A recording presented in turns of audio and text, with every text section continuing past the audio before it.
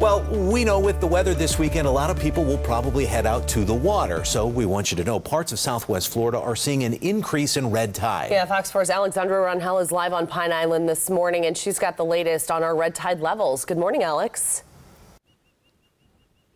Good morning. Uh, those results are from FWC. It's showing increasing levels of red tide, especially where we are right now in and along the Pine Island Sound. And it's not just here that we're tracking this. In the last week, red tide has been prevalent throughout Lee, Charlotte, and Collier counties.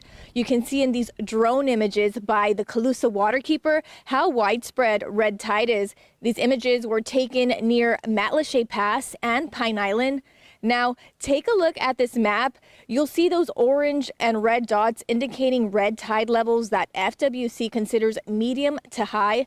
So, what does this mean for some areas here in St. James City where results show a high concentrations of red tide?